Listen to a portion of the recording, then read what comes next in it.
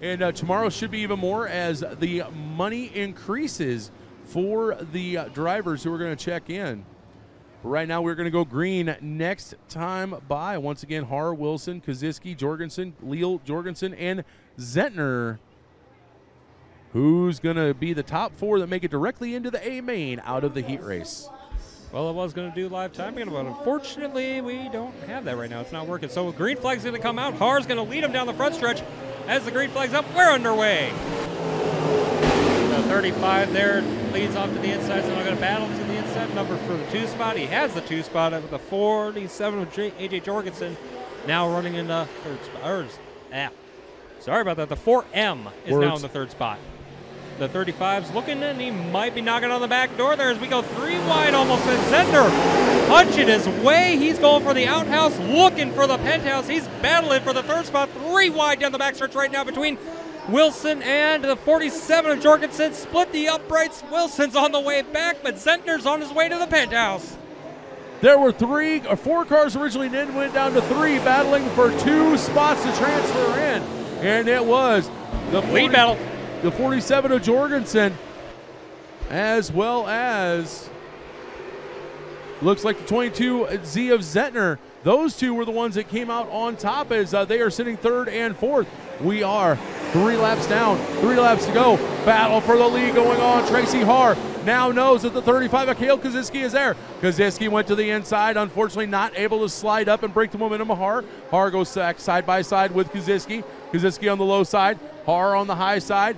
Two laps to go. Har's going to retain the lead. Now, in two more laps, can Kaziski end up going with another another shot at it? Yes, he does. To the inside once again, it is Kaziski and Har side by side, as is Zentner and Jorgensen. Your top four transfer spots, two two wide, two rows deep. White flag is out. Har is trying to hold off Kale Skasiski as it has turned into a fatal four-way. Now settling out, just a battle right now for the lead. Kasiski to the inside of Har. White flag is out. Checkered is going to come out this time by Har. Drag race down the front stretch. Kale. Kale's going to go. No, it's Har. Har took it by just the slimmest of margins at the line. Har holding off Kasiski for the win. Zentner in third from the back row to third spot.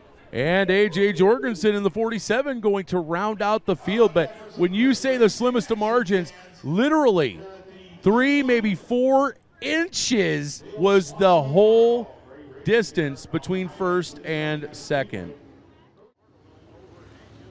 Well, I'm going to assume you're right as I was uh, changing the battery in my uh, receiver as it was, of course, goes dead at the most inopportune times. But uh, yeah, it looks like Pollard is the one they're going to say a little too quick on the stick, so to speak. A little qu- too quick to mash the pedal, a little too excited to go. Hey, it's racing. We're all too excited to go. Let's go. Let's get the racing in. Lights are out. We're going to try and go green this time by. Hold it back a little bit. Easy, side by side. Into turn number three. We'll see how we go this time around. The RPMs are coming up a little bit closer this time by, but Pollard still jumps out on the early race lead with the 41 Jorgensen down to the inside of the Zero ZFX Van Zerksum. It is going to be the 41 of Robbie Jorgensen with the lead as they're almost through. I'm sorry, Pollard with the lead as they're almost three wide behind him. That is going to be Jorgensen now sitting up in that second place spot. Meanwhile, it is Van Zerksum and Saltzman second and third. Fourth is going to go to Tilly, and rounding out the top five is going to be uh, the battle between Gary Webb and Don Beckstrom. Don Beckstrom picking up a win the, the week before the season championship here. Been a long time since he had been in victory lane, but he managed to get it done in his 80s as Gary Webb is now going to take over that sixth place spot right in front of him. But up front, it is all Eric Pollard, your leader. Saltzman to the inside of Van Zerksum as they go into turn number three. Now he's going to take the position from Zerksum. And Zer- Van Zerksum's going to try and look to the bottom side. Now he's got company contact down the front stretch. And no, he keeps it clean. The 56 of Andrew Trilly got into the back of Van Zerksum, but we stay clean and green as now it's Pollard, Jorgensen, Saltzman, and Tilly coming down the front stretch. Two to go this time by, and Tilly's going to try and chase down Saltzman for that third place spot. Pollard has checked out. He already has the car ready to go for the feature. He has such a sizable advantage. Remember, only top four are going to make it in. It is Eric Pollard as the white flag comes out, Jorgensen, Saltzman, and Tilly, top four. Unfortunately, it is Zach Van Zerksum on the outside looking in as he will have to go through AP feature. Checkered flag in the hands of Chief Starter Lane Pugh, and it's going to be Eric Pollard, your winner. Robbie Jorgensen going to take second. Third's going to go to uh, Brandon Saltzman, and Andrew Tilley is going to round out your top four. They will punch their way into the A main directly from the heat race a little bit later out of heat race number one. I'm sorry, number two. Well, confusing or not, at least I know one thing. We are finally doubled up, and the lights look like they might go out this time by. Uh, Lane Pugh's reaching for his radio.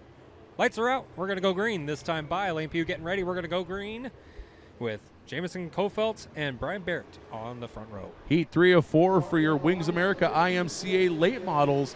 RPMs come up. And we're green, and it's going to be Kofelt with the early advantage as Brian Barrett's going to tuck into second. Third right now is going to be Jake the Ripper Neal with Randy Archer sitting there in that number four spot. The, 90, the 92 Jacob Brown rounding out the top five as, uh, yes, it looks like Randy Archer, he is going to go high, wide, and round the outside. He is going to take over third. Now he's going to take over second from Brian Barrett. He has that 18G hooked, booked, and cooking as he is now going to look to the outside of Jamison Kofelt. This is for the lead as they go down the backstretch into three and four. And Archer around new leader Archer as Randy Archer is going to take the lead. Jamison Kofelt now back to second. Brian Barrett in third. And rounding out the top four right now is going to be Jacob Brown in the 92. And we got a battle deeper in the pack with Jake Neal stumped and bobbled up. He's out near the outhouse with uh, Todd Bell looking on it, knocking on the back door there. The field has kind of stretched out a little bit, halfway down, three down, three to go. We got leader of Randy Archer, Cole Felton second. Third looking still to be the 2018 of Brian Barrett, but fourth is coming trying to look at the, trying to make a battle for the third place spot. We got, as they come around here, he's knocking on the back door. You got company, Barrett, as the 92 of Jacob Brown. And now here comes he, here comes Jake Neal. Sorry to interrupt, but that uh, that little shot in the shorts gave Jake Neal all the incentive he needed to get up underneath the 19. Three wide. Three wide. They're three wide. As Kofelt does not realize, oh, it was three wide for a moment. Now they're going to flatten back out. And wait a minute. Wait a minute. The 28T of Barrett off the pace. I'm not sure what happened. It's going to be Randy Archer winning the second place. Second place is going to go to Jacob Brown. Jamison Kofelt in third, and Jake Neal rounds out the top four. Wow, what just transpired those last two laps, Dugan? I don't know. All I know is cars went here, there, and everywhere, and what we thought was going to happen did not happen at all. And yeah, I, I, I got nothing, BJ. It, it was a wild one. Either B features or intermission, I am not sure which. I see cars lined up, so it looks like modifieds are going to be up next. So, heat race number four in your IMCA late models going down the back stretch. We got, oops, I got the wrong thing open here. Dan Jackson leading us down into turn number three. Green flag ready to come out. The cars are picking up pace already, and nah, I don't see it. Well, the green flag is going to come out. We're going to go racing as we go three wide down the front stretch, almost four wide. And we're going to take off with the three of Dan Jackson. He is going to be your leader as they come through one and two. Meanwhile, following him is going to be Ryan Griffith sitting in that second place spot. Third, that is going to be, I believe, the 24X of Michael Micah Brown. And rounding out top fours, they're going to be three wide for That is going to be the 6K of Elliott, Hop, and Leal. Right now, it's going to be Hop as he is going to take over that third, that fourth and final transfer spot. That is going to put Roger Elliott and Michael Leal on the outside looking in right now. Speaking of looking in, looking up at the lead, the 15 of Griffiths knocking on the door to the inside of Jackson. We got it side by side down the backstretch going down. Going down Jackson, you got company to the inside. Griffith's looking and he's going to do it. There's still side by side little bobble. Does not take the advantage Jackson holding off Griffith, coming down halfway. Three down, three to go. And we got a battle shaping up for the fourth spot, too. But once again, looking to the inside is Griffith, but bobbles and holds back as Dan Jackson once again holds off Griffith for the lead of this heat race. Dan Jackson living dangerously as uh, he, well, he's running, doing what he has to do, running his line. But Griffith right there just trying to get to him at every turn. Now he's got a little bit of breathing room, does Dan Jackson. But I'll tell you who doesn't. That's going to be Micah Brown as the 80 of Allen Hop is going to go flying right by him for that third place spot. Now, can he get up there with one lap to go and possibly make it a battle for the second place spot with Griffith? Through one and two, it is still all Dan Jackson. Down the backstretch, smooth as we got one car starting to go up in smoke. But as they come through three and four, it's going to be all Dan Jackson, your winner. Ryan Griffith in second. Allen Hop third, and Micah Brown is going to be the last one to make it in through. Oh, and immediately the 13 Michael Leal just sprayed for Skeeters all over the front stretch. Uh, I hate to say it, Dugan, I do not think that one was a radiator. Uh, yeah, I can't see the backstretch anymore. Um, I can't see past the gate under the flag stand, and uh, it's coming this way, so we'll be able to smell right away what it. We got we've got fans that are actually following the cloud with their phones, taking video as it comes by. So, oh, ooh. that is totally a motor that expired. Oh yeah, that smelled oh. hard. Oh no, and right off the bat, the 33 Don Beckstrom getting pushed into the pit area. His race is going to be done before it even starts. Unfortunate for him. I was looking to see who it was. Looking through my race pass, I was looking and Don Beckstrom unfortunately unable to compete tonight. Some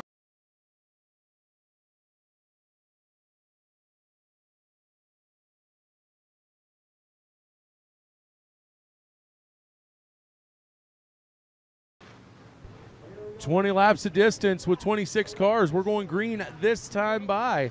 It is once again Alan Hop and Eric Pollard on the front row. They're going to lead. Oh, I don't even know what that was, but we've got cars around in the back, and there's no way that starts going. I do believe that's going to get called back. Yep, there's the yellow lights. I was looking up at the flagman, and he just looked at his arms go, What was that? You know it's bad when the flagman's even going, what, what, guys? I'll tell you, your pole sitter, Allen Hop, was at least four rows back before they even got into, into turn number four, and then all heck just broke loose. And the 15X is pulling in. Oh, so Ryan Griffith done for the Knights. All right, lights are out. We're going to go green this time by. RPMs are going to come up as they go through three and four. And we're green with the late models. This time we're going to get a good start as they go through one and two. Alan Hop is going to take the, the uh, preferred position over Eric Pollard. It is Hop, Pollard, the 21T of Har in third. And side by side battle going on for fourth and fifth. That is going to be uh, the three of Dan Jackson. And looks like possibly. Seltzman in there and yes, inside of Seltzman inside of Har, going to battle to the outside is Har, going to try and hold him off. Or is that Sel- Zentner's now going to look to the inside of that, and he's been battling side by side with Kale Kasiski through the turns side by side as they go. Har, Seltzman, Zentner to the inside of Seltzman now. As we had a little trouble in turns one, two, but we're going to stay clean and green. Here we go. Seltzman in. Zentner now gets by Hart and Seltzman. He takes the third place spot as we get a chase down the three. Of the three as his transponder is now working, but now he's up on the second. We got a gaggle of cars for fifth on back. Zentner is making a charge. He's going to try and make his way up. He goes to the round to the outside. Red flag, red, red, red. Fire safety are on the move. So I thought we were going red. We're still green. Why are, I don't know. We're still green. Not sure exactly what is going on as uh, lights came on on the rescue, uh, the ambulance and the fire truck. Now the lights are off, but they're heading back somewhere in the pits. Meanwhile, Alan Hop is still walking away from the 7P or P7 of Eric Pollard at this moment in time. Hop going to come down. Uh, it's not going to be but maybe five or six more laps, and lap traffic will come into play. Pollard still second, Zentner third, Jackson in fourth. And then the battle is on between the 92 of Jacob Brown and the 56T of Andrew Tilley for that fifth and final spot. Best battle on track currently is that battle for fifth. It's going to be almost a three-car battle. As now they're going to try and get up to Seltzman to make it a battle for fourth. Seltzman in your fourth position, Brown in fifth, Andrew Tilley sixth. They are coming up. Blue flag is out. Lap traffic is in play. All right, battle for your fourth position with the 92 and the 98. Catching up to the three once again. So battle for position there. Brown to the inside of Seltzman. Not quite there yet. Seltzman still able to hold him off, but Brown is on the charge. He is making his way. What does he have for him as there's a lap car in between them to make the make the challenge ever so much there as the top three have checked out on the field. Saltzman still trying to hold off a hard charge from the three of Jackson and the 92 of Brown as uh, looks like the 24 he is going to call Michael Brown. He is going to call no joy, pull pit side. He'll be done. But up front, it is still all Allen Hop led from the drop of the green, started on the pin, and very soon, lap traffic, he will be in. Lap traffic, he is in because he is just now passing the 4M, and the that's going to allow Pollard to start catching him as he has to work his way around the outside of the 4M. Oh, Jamison Kofelt, problems with the 36. He pulls it in and is done for the night. He pulls it in, he's done for the night, but now Pollard is catching up. Zentner's to the inside of Pollard. Zentner making the charge on second, doesn't hold his way back. He's going to tuck back in for the third place spot. He has caught second, though. Zentner making the charge on Pollard. Pollard goes low, trying to find his way towards Hop and trying to make it around, not knowing that he has company in a 22Z. Pollard now looking to the inside of Hop. Hop bobbled a little bit. Hop hopped it up at turn number one. Now he's going into turn number three. A little bit high line. There's back stretched out again. And Pollard's going to look to the inside down the front stretch. Going to turn number one. BJ, five to go. Sorry, six to go. Zach Zentner trying to go to the whip, see if he can possibly move up another spot into that second place spot. But right now it is all Allen Hop. Hop currently leading as he is uh, going to come up on uh, the 13 JR of Colton Leal, pick off another spot. Pollard still, oh, Pollard got hung up there for a moment. Now he's going to have to try and go around the outside to get around the 13 junior of Leal. That's going to allow Zentner a chance to catch up to Pollard. But with only five laps to go. Make that four laps to go. It is still all Allen Hop. He is now getting ready to come up on AJ Jorgensen in the 47 and put him a lap down as he's going to slide it into three. Round the outside, high, wide, and around the outside. It's going to be Allen Hop clicking off, get another lead or another lap as he has three laps to go to win here in Harlan. Allen Hop with plenty of wide open track in front of him now as he has made his way past the lap traffic. Pollard still working his way around the traffic. We got two to go this time by. Zentner is catching, went a little, got almost in a little bit of trouble there, but he's going to try and catch Pollard for the second place spot as they're still working on some lap traffic. Two to go is still up, and we're going to come to the white flag this time by Allen Hop. Clear sailing in front of him. Not a not a problem in the world so far. Has to survive one more lap as Pollard is trying to hold off a hard charging Zentner. Zentner has one last chance to give it to Pollard to try to get the third place spot from him. But through turns three and four, the number 80 of Alan Hop is going to look up and see the double checkers flying. Alan Hop, your feature winner in the IRC late models. Pollard in second. And it's going to be Zentner, Jacob Brown, Brandon Saltzman, Jake Neal, Andrew Tilley, Gary Webb, Randy Archer, and AJ Jorgensen will round out your top 10.